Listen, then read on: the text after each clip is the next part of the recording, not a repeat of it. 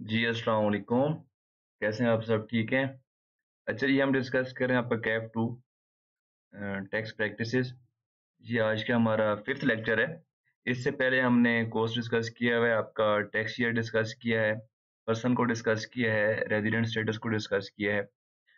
And आज जो हमने डिस्कस करना है, मेरी कोशिश होगी कि इस लेक्चर में हम टैक्सेबल इनकम और टैक्स रेट्स दोनों को डिस्कस करें। ये डिस्कशन को स्टार्ट करने से पहले आप सबको बहुत बहुत मुबारक हो कि ट्वेंटी फोर्थ ऑफ़ अक्टूबर को जो आपका पाकिस्तान ने इंडिया के साथ किया है, वो ऐसा कुछ कर दिया है जिसकी ना हम दुआ कर सकते थे, ना हमारे ख्वाब ख्याल में ऐसी बात थी। चलो माशाल्लाह जी, अब आगे की हम अच्छी उम्मीद करते हैं कि पाकिस्तान वर्ल्ड कप भी जीते। तो उससे के अलावा अगर आपको कोई क्वेश्चन है, जो अभी तक हमने टॉपिक्स कवर किए हैं तो उस टॉपिक से रिलेटेड आप मुझसे क्वेश्चन पूछ सकते हैं कमेंट्स में भी पूछ सकते हैं। अगर आप कोई वॉइस नोट भेजना चाहते हैं, कोई आपको कॉन्सेप्ट में इशू आ रहा है कन्फ्यूज़न है तो इस वीडियो के डिस्क्रिप्शन में और मेरे चैनल के अबाउट वाले कॉलम में भी जाकर आप मेरा इंस्टाग्राम अकाउंट और फेसबुक प्रोफ़ाइल का लिंक गिवन है, आप उसके थ्रू मुझसे कॉन्टेक्ट कर सकते हैं। तो आपको जो भी इशू होगा, जो भी आपकी कन्फ्यूज़न होगी, मैं उसको इन डिटेल एड्रेस कर दूँगा। इसके अलावा दूसरी बात ये कि थोड़ा सा गैप आ गया लेक्चर में कुछ चार पाँच दिन का। कुछ मसरूफियात थी, जिनकी वजह से मैं लेक्चर को रिकॉर्ड करके अपलोड नहीं कर सका। लेकिन आप परेशान ना हो, इंशाल्लाह हम अपना जो टारगेट है टेक्स को टेक्स को कवर करने का फिफ्टीन ऑफ़ जनवरी 2022 उसको मीट करेंगे और पूरा कोर्स मैं इन डिटेल डिस्कस करूँगा। आप इस बात की वजह से परेशान ना हो कि कोर्स कंप्लीट नहीं होगा। और हम इन डिटेल डिस्कस करेंगे ईच एंड एवरी पॉइंट को जिस तरह के अभी तक हम डिस्कस करते आ रहे हैं। तो अगर आपको ऐसे कोई कन्फ्यूज़न है अगर आपको कोई इशू आता है, आपको कोई परेशानी होती है तो आप फ्री हो कि मुझसे डिस्कस कर सकते हैं। हम उसको एड्रेस करेंगे। ठीक है जी? जी, हम सबसे पहले स्टार्ट करने लगे हैं टैक्सेबल इनकम अगर आप अपने हम पहले लेक्चर पे जाएँ, जिसमें हमने डिस्कस किया था scope of income tax law हमने पढ़ा था कि income tax shall be impose for each tax year हमने टैक्स ईयर पढ़ लिया या तो स्पेशल टैक्स ईयर होगा, या नॉर्मल टैक्स ईयर होगा, या ट्रांजिशनल टैक्स ईयर होगा। ऑन एवरी पर्सन हमने एवरी पर्सन भी पढ़ लिया पर्सन कौन सा होता है, उसमें हमने फिर रेजिडेंट इंडिविजुअल भी पढ़ लिया, ठीक है, और रेजिडेंट पर्सन सारा कुछ पढ़ लिया। उसके बाद आता है आपका टैक्सेबल इनकम ठीक है as per the applicable tax rates आज हम डिस्कस करते हैं कि टैक्सेबल इनकम क्या होती है। जी, पहले बताओ मुझे कि इनकम क्या होती है। इनकम जो आपका एक नॉर्मल मीनिंग है, जो एक जनरल मीनिंग है इनकम का, आपका इनकम टैक्स ऑर्डिनेंस भी उसी को क्या करता है, डिफाइन करता है। जी, ये आपका पेज नंबर है, बुक का फोर्टी फाइव, ठीक है, जिसमें हम डिस्कस कर रहे हैं इनकम। वो कह रहा है कि इनकम में वर्ड लिखा हुआ है इंक्लूड्स एक तो है general definition of income income क्या है? अगर हम हम उसको, अगर हम, मैं आपको बताऊँ, अगर हम थोड़ा डिस्कस करें तो इनकम ये है कि अगर आप कोई सर्विस प्रोवाइड कर रहे हैं, कोई आप बिज़नेस कर रहे हैं, अगर आपने कोई चीज़, किसी चीज़ में कोई इन्वेस्टमेंट की है, आपकी जो कॉस्ट थी इन्वेस्टमेंट की, जब आपने उसको सेल की है तो वो उससे ज़्यादा है सेल प्राइस जो उसमें डिफरेंस होगा गेन होगा, वो आपकी इनकम है। अगर आप बिज़नेस रन कर रहे हैं तो बिज़नेस की आप इनकम किस तरह कैलकुलेट करते हैं? सेल लेस एक्सपेंसेस आप अकाउंटिंग में पढ़ चुके होंगे। तो कोई भी चीज़ आप जो सेल करते हैं तो कॉस्ट और सेल प्राइस में जो डिफरेंस होता है आपका जो गेन होता है वो आपकी क्या होती है? प्रॉफिट जो होता है वो आपकी क्या होती है? इनकम होती है। सिमिलरली अगर आप जॉब करते हैं तो जो आपको सैलरी मिल रही होती है उसके ऊपर तो वो सैलरी आपकी क्या इनकम है? ठीक है? हम यहाँ पर पढ़ भी लेते हैं। The term income the words include there therefore it is inclusive definition and not ex, uh, exhaustive. ठीक है जी? हम यहाँ पर देखते हैं कि ये आपकी जो डेफिनेशन है जनरल मीडिंग मीनिंग जो आपकी टर्म है, उसको भी इंक्लूड करती है। उसके अलावा ये चीज़ें भी कुछ लिखी हुई है। इसमें तो कुछ आपको समझ आएँगी, कुछ नहीं आएँगी। कुछ अभी समझ आ जाएँगी और कुछ आपको बाद में जब समझ आएँगी, जब आप इस फ़ील्ड में सब्जेक्ट में थोड़ा सा मेच्योर हो जाएँगे। जब हम जो टर्म यहाँ पर यूज़ हुई हुई है, जब हम वो पढ़ लेंगे तो आपको ये समझ आ जाएगी। Chargeable to tax under the income tax ordinance double zero one यहाँ पर एग्ज़ाम्पल दिए इनकम फ्रॉम सैलरी ठीक है जी? तो इनकम है तो जो भी आपकी इनकम है, वो क्या है? चार्जेबल टू टैक्स है, ठीक है ना? और आपका इनकम को टैक्स कौन सा ऑर्डिनेंस करता है? Income tax ordinance double zero one any amount subject to collection और deduction of tax under the final tax regime final tax regime हमारे चैप्टर फोर में गिवन है, इसको हम डिस्कस करेंगे डिटेल में। तो यहाँ पर एग्ज़ाम्पल दिए एक्सपोर्ट्स जब आप एक्सपोर्ट करते हैं तो आपके जो होते हैं कस्टम्स वाले जो, वो आप पे एक्सपोर्ट का वन परसेंट विद टैक्स क्या कर लेते हैं डिडक्ट कर लेते हैं। ठीक है? तो वो जो आपका टैक्स होता है, उसको हम फाइनल टैक्स कहते हैं। फाइनल टैक्स क्या होता है, हम बाद में डिस्कस करेंगे। तो वो भी क्या आपकी इनकम की डेफिनेशन में इंक्लूडेड है। क्योंकि वो एक्सपोर्ट आपकी क्या होती है समझते हैं कि एक्सपोर्ट की वैल्यू है, वो आपकी इनकम है तो हम उस पर एक परसेंट टैक्स ले लेते हैं। Any amount treated as income under any provision of the income tax ordinance same बात है। ऑर्डिनेंस में जो भी चीज़ें डिफाइन की हुई हम आगे पढ़ेंगे। उन एग्ज़ाम्पल दिए हैं डिविडेंड अगर आपने किसी कंपनी के शेयर परचेज किए हैं या कंपनी ने डिविडेंड इशू किया है, आपको जो उस पर डिविडेंड मिलेगा, वो आपकी क्या है? इनकम है। और आपकी कौन सी इनकम है, हम बाद में डिस्कस करते हैं। रॉयलिटी जी रॉयलिटी आपको पता है क्या होती है? जो आपको रॉयलिटी मिल रही होती है ब्रांड को ब्रांड नाम यूज़ कर देने का, किसी को अगर जो दे रहे होते हैं, उसकी जो फ़ीस ले रहे होते हैं, वो रॉयलिटी इनकम होती है। तो वो क्या होगी आपकी इनकम में फॉल करेगी। प्रॉफिट ऑन डेट अगर आपने किसी को लोन दिया है, या आपने बैंक में डिपॉजिट कराया हुआ है तो उस पर जब कोई प्रॉफिट मिलेगा, वो आपका क्या है? इनकम की डेफिनेशन में फॉल करता है। अब टैक्स क्या है जी? टैक्स वही है, आप इनकम में जो आप एक टैक्स के अमाउंट पे कर रहे होंगे सर्टन परसेंटेज जो रेट के हिसाब से, उसको हम क्या कहते हैं?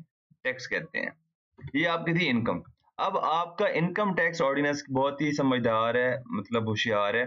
उसने आपकी इनकम को फाइव हेड्स में क्लासिफाई कर दिया। वो कहता है कि इनकम क्या है? आपने समझ लिया। अब आपने जो वो इनकम है, उसको इनकम को इनमें से किसी एक में क्या करना है? क्लासिफाई करना है। ठीक है जी? सबसे पहले वो कहता है कि आपकी इनकम, एक इनकम हो सकती है, इनकम फ्रॉम सैलरी मतलब अगर आप कोई जॉब करते हैं तो उस एम्प्लॉयमेंट से आपको जो भी बेनिफिट मिल रहा है आपके एम्प्लॉयर की तरफ़ से, वो आपको नेट कैश भी हो सकता है, जब आपको सैलरी मिल रही होती है, आपको गाड़ी मिली होती है, आपको एमी एनुअल बोनस मिल जाता है, आपको मेडिकल अलाउंस मिल रहा होता है, आपको इसके अलावा अकोमोडेशन रिहायश के लिए घर मिल रहा होता है, आपको ट्रेवलिंग वगैरह की रिम्बर्समेंट होती है, आप कंपनी की तरफ़ से फॉरेन टूर पर जाते हैं, आपको पेंशन मिलती है, आपको प्रोविडेंट फंड मिलता है, ठीक है ना? जितनी भी उस एम्प्लॉयर से आपको बेनिफिट मिलेगा, आपको जो पैसे मिलेंगे रिवार्ड मिलेगा इधर इन कैश और इन काइंड ठीक है ना? दोनों में से जिस भी शेप में वो आपको रिवार्ड मिल रहा है एम्प्लॉयर से, वो सारा आपका किसमें कवर होगा? इनकम फ्रॉम सैलरी में कवर होगा, ठीक है? हमने इस चैप्टर को डिटेल में डिस्कस करना है। तो क्या क्या इसमें फॉल होता है क्या क्या नहीं होता, हम वहाँ पर डिस्कस कर लेंगे। यहाँ पर जस्ट हम आपको क्या दे रहे हैं? एक जनरल आइडिया दे रहे हैं, ठीक है जी? इनकम फ्रॉम सैलरी दूसरा आपके पास है इनकम फ्रॉम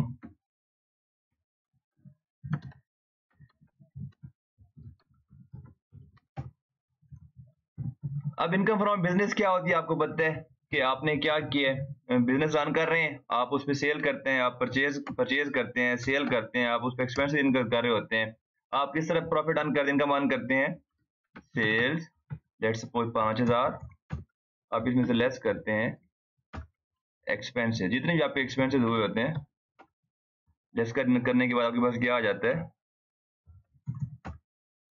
आ जाता है प्रॉफिट इस प्रॉफिट को हम कहते हैं इनकम फ्रॉम बिज़नेस आगे समझिए अब ये बिज़नेस कंपनी भी हो सकती है सोल ट्रेडर भी हो सकता है, या पार्टनरशिप भी हो सकती है. तो टैक्स पर्पज के लिए हम सोल ट्रेडर को क्या कहते हैं? इंडिविजुअल के बिज़नेस कहते हैं, ठीक है? और पार्टनरशिप को हम क्या कहते हैं? एओपी कहते हैं एसोसिएशन ऑफ़ पर्सन कहते हैं और कंपनी को हम कंपनी ही कहते हैं। ये हमारा क्या था? इनकम फ्रॉम बिज़नेस हम इस तरह कैलकुलेट करते हैं। फिर हमारे पास नेक्स्ट आता है आपका इनकम फ्रॉम प्रॉपर्टी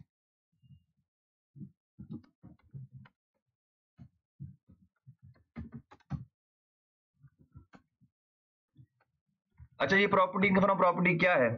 कि अगर आपने लैंड एंड बिल्डिंग देखें आपके पास प्रॉपर्टी दो ही होती है ना लैंड होती है बिल्डिंग होती है। उससे आप किस तरह की इनकम किस तरह इनकम अर्न कर सकते हैं? एक तरह आप अर्न कर सकते हैं कि आप उस लैंड एंड बिल्डिंग को, ठीक है, आप उसको क्या कर दें? सेल कर दें। आपकी कॉस्ट और सेल का जिस तरह का मैंने उसको मैंने सेल किया है, एक बिल्डिंग पच्चीस लाख की मकान, ठीक है ना? और मैंने परचेज किया था अठारह लाख का। मुझे यहाँ पर क्या आ गया? सात लाख का गेन आ गया। ये भी मेरी क्या है? प्रॉपर्टी से इनकम आ रही है ना? लेकिन ये जो सेल और परचेज से मुझे जो प्रॉपर्टी पे इनकम आती है, वो फॉल करती है इनकम फ्रॉम कैपिटल गेन ठीक है? तो इनकम फ्रॉम प्रॉपर्टी में कौन सी फॉल करती है? अगर मैं लैंड एंड बिल्डिंग को रेंट पर दे देता हूँ, अगर लैंड एंड बिल्डिंग मेरी ऑनरशिप में है, ठीक है? कि मैं लैंड एंड बिल्डिंग का ऑनर हूँ, या बिल्डिंग का ऑनर हूँ और उस बिल्डिंग को, उस लैंड को मैं क्या कर देता हूँ? रेंट पर देता हूँ। जो मुझे रेंटर्स मिल रहे होंगे, जो एनुअल या मंथली मुझे एक रेंट अमाउंट मिल रही होगी, वो मेरी क्या इनकम है? तो वो वाली जो इनकम है, उसको आपका जो लॉ है इनकम फ्रॉम प्रॉपर्टी में क्या करता है? क्लासीफाई करता है। तो लॉ कहता है कि जो भी आपने लैंड एंड बिल्डिंग को रेंट पर देकर जो आपको रेंट मिल रहा होगा, वो वो आपकी इनकम फ्रॉम प्रॉपर्टी है। किस तरह कंप्यूट करनी है? क्या एक्सपेंसेस किस तरह डिडक्ट करने हैं? इनकम किस तरह कंप्यूट करनी है? उसके ऊपर हमारा पूरा चैप्टर है, हम डिस्कस करेंगे। ठीक है ना जी? हम सर समझ बता रहा हूँ आपको इनकम फ्रॉम प्रॉपर्टी आपकी होती क्या है। इनकम फ्रॉम कैपिटल गेन पहला है, ये क्या होता है कैपिटल गेन वाला? देख लेते हैं। जी लैंड एंड बिल्डिंग अगर आप सेल करते हैं सेल करने से अगर आपको गेन आ जाए तो आपको कहाँ पर आएगा? या कोई प्रॉफिट आता है तो आपको इसको किसमें टैक्स करवाएँगे? वो आपका जो प्रॉफिट होगा, आपका जो वो गेन होगा, वो आपका इनकम फ्रॉम कैपिटल गेन में आएगा। ठीक है जी? एक बात ये अगर आपने लिस्टेड कंपनी के शेयर्स ठीक है ना? ये आपको बता रहा हूँ जस्ट फॉर अंडरस्टैंडिंग इसमें और चीज़ें भी फॉलो करती हैं।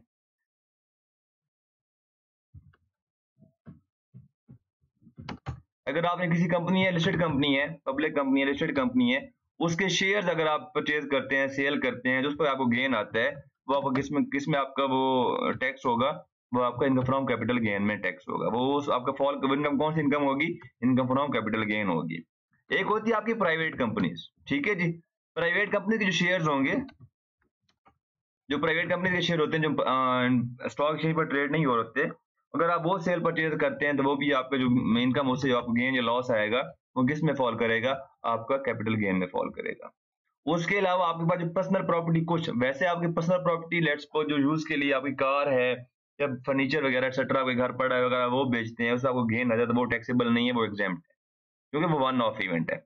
लेकिन कुछ ऐसी हैं जो उन्होंने क्लासीफाई किए हैं कि लेट सपोज़ अगर आपका आपके पास ज्वेलरी पड़ी थी गोल्ड पड़ा था, अगर आपने गोल्ड बेचा है वो एक मतलब है तो रेगुलर यूज़ के लिए नॉर्मल यूज़ के लिए, लेकिन क्योंकि उसकी अमाउंट ज़्यादा है वैल्यू ज़्यादा उस पर गेन वगैरह ज़्यादा आ जाता है तो उस पर जो गेन आएगा तो वो आपकी क्या होगा, इसी में वो उसकी जो गेन आएगा, वो कौन सी इनकम होगी? आपकी इनकम फ्रॉम कैपिटल गेन होगी। इसके अलावा और भी कुछ चीज़ें इसमें फॉलो करती हैं पर्सनल एसेट्स में। ठीक है? वो हम डिस्कस करेंगे चैप्टर में जाकर कि वो कौन कौन सी होती हैं। उस पर जो गेन या लॉस आएगा, वो आपका कौन, कहाँ पर फॉल करेगा? आपका इनकम फ्रॉम कैपिटल गेन में फॉल करेगा। ठीक है जी? जी आपकी थी कैपिटल गेन अब हमारे पास जो लास्ट आपके पास जो हेड है, वो है इनकम फ्रॉम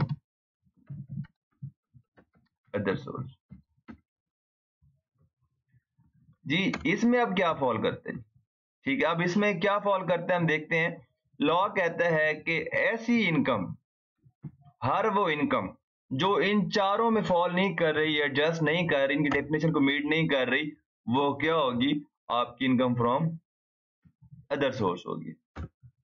ठीक है, जैसे कि अगर मैं कहूँ कि मेरा प्राइस बॉन्ड निकल आता है, ठीक है, अब प्राइस बॉन्ड पे मेरा जो इनाम निकला है, क्या वो इनकम फ्रॉम सैलरी की डेफिनेशन में फॉल कर रहा है? नहीं फॉल कर रहा। तो मतलब इनकम फ्रॉम सैलरी नहीं है। क्या वो इनकम फ्रॉम बिज़नेस है? नहीं जी, मेरा वो बिज़नेस भी नहीं है। क्या वो इनकम फ्रॉम प्रॉपर्टी है? नहीं जी, वो लैंडेड बिल्डिंग तो थी नहीं, ना उसको मैंने रेंट पे दिया हुआ था तो इनकम फ्रॉम प्रॉपर्टी भी नहीं है। क्या वो मेरा कैपिटल गेन है?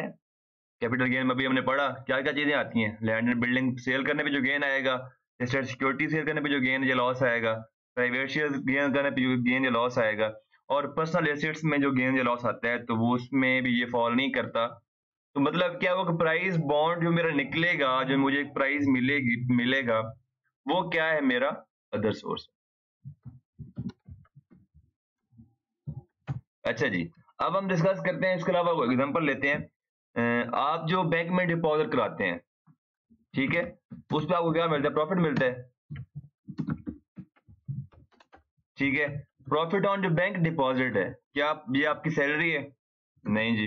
प्रॉपर्टी इनकम है? नहीं जी। बिज़नेस इनकम है? क्योंकि बिज़नेस तो नहीं है ना बैंक मेरा बिज़नेस तो नहीं है कि मैं बैंक में डिपॉजिट करवाऊँ और मुझे वहाँ पे रिटर्न मिले। ठीक है ना? ये आपका बिज़नेस भी नहीं है। इनकम फ्रॉम प्रॉपर्टी है? नहीं जी। कैपिटल गेन है? नहीं जी। उसमें मीट नहीं कर रहा। ये आपको क्या हो जाएगा जी? अदर सोर्स हो जाएगा। क्लियर जी? अब आपने कंपनी के शेयर्स परचेज किए हुए अगर शेयर्स को सेल करेंगे तो गेन आएगा तो वो क्या है? कैपिटल गेन है। ठीक है ना जी? सेल सेल ट्रेडिंग कर रहे हैं उसमें, ठीक है? अगर आपको डिविडेंड मिला है रिटर्न में, पता है डिविडेंड क्या होता है? पता ही होगा ऐसी बात है, माशाल्लाह आप अकाउंटिंग वगैरह हो, थोड़ा बहुत लॉ वगैरह पढ़ा होगा आपने। डिविडेंड मैं बता देता हूँ कि जो ऑन कंपनी जो प्रॉफिट अर्न करती है, उसके शेयर कंपनी क्या होता है? शेयर होल्डर्स होते हैं।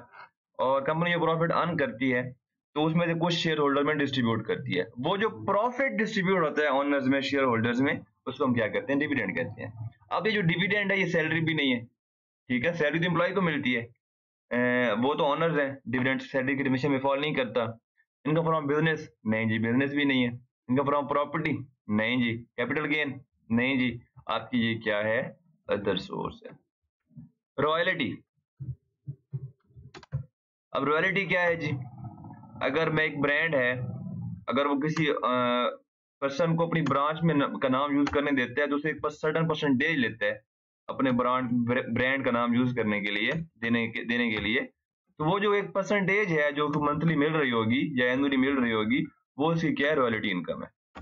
वो आपकी कहाँ पे फॉल करती है? अदर सोर्स में फॉल करती है जो आपकी क्या है? फाइव हेड्स ऑफ़ इनकम है। ठीक है जी? अब ये इनकम को उन्होंने क्लासीफाई कर दिया कि इनकम या तो सैलरी होगी या बिज़नेस होगी, या फ्रॉम प्रॉपर्टी होगी, या फ्रॉम कैपिटल गेन होगी, या फ्रॉम अदर सोर्सेज होगी। जो भी इनकम होगी, वो इन पाँचों में फॉल करेगी। ठीक है? तो आपने क्लासीफाई करने पाँचों के पाँचों के लिए अलग रूल्स हैं। टैक्स कैलकुलेट करने के लिए टैक्स लाइबिलिटी कैलकुलेट करने के लिए टैक्सेबल इनकम कैलकुलेट करने के जी, ये हमने पढ़ा, ये भी हमने सीखा है कि इनकम क्या होती है। ठीक है? इनकम को कितने हेड्स में क्लासीफाई करते हैं। अब हमने जो नेक्स्ट सीखना है, वो हमने सीखना है कि टोटल इनकम क्या होती है।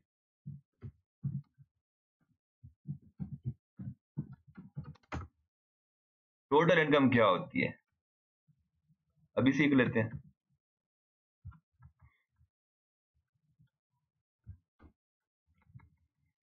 ये मैं एक फिगर अज्यूम कर लेता हूँ अमाउंट एक पर्सन है, उसकी इनकम फ्रॉम सैलरी है पाँच लाख। ठीक है जनाब? फ्रॉम बिज़नेस है चार लाख पचास हज़ार। इनकम फ्रॉम प्रॉपर्टी उसकी है सात लाख। इनकम फ्रॉम कैपिटल उसका है एक लाख पचास हज़ार। और अदर सोर्स उसका है सत्तर हज़ार। अगर मैं सारी इनकम को सम कर दूँ, सारी इनकम को जो मुझे मिली है अर्न की है, उसको मैं क्या कहूँगा? टोटल इनकम बोलूँगा। तो टोटल इनकम क्या है? मतलब तमाम हेड्स की all how all head of income का जो सम होता है, उसको हम क्या कहते हैं? टैक्स में आपकी टोटल इनकम कहते हैं। लेकिन हमें तो अपने स्कोप के मुताबिक जो हमारा एजेंडा है, वो क्या है जी? वो है कि टैक्सेबल इनकम क्या होती है। तो मतलब ये हुआ कि टोटल इनकम और टैक्सेबल इनकम में फ़र्क होता है। तो हम सीखते हैं, हमने, हमारा एंड ऑब्जेक्टिव क्या है कि हमने टैक्सेबल इनकम कैलकुलेट करनी है डिटरमिन करनी है, ताकि उस पर हम टैक्स रेट अप्लाई करके क्या करें? टैक्स लाइबिलिटी टैक्स की जो अमाउंट मैंने पे करनी है गवर्नमेंट को, अपनी इनकम के अगेंस्ट वो डिटरमिन कर सकें। ठीक है? अब इसमें से मैंने क्या करना है? कुछ लेस होगा या कुछ ऐड होगा, तभी मैं क्या पहुंचूँगा? टैक्सेबल इनकम पर पहुंचूँगा। क्लियर अब क्या लेस होना है? अब यहाँ पर हम एक चीज़ पढ़ते हैं एग्ज़ाम इनकम मगरब की जान हो रही है तो दो मिनट की मैं ब्रेक कर लेता हूँ, उसके बाद हम बगैर डिस्कस करते हैं, इंशाल्लाह।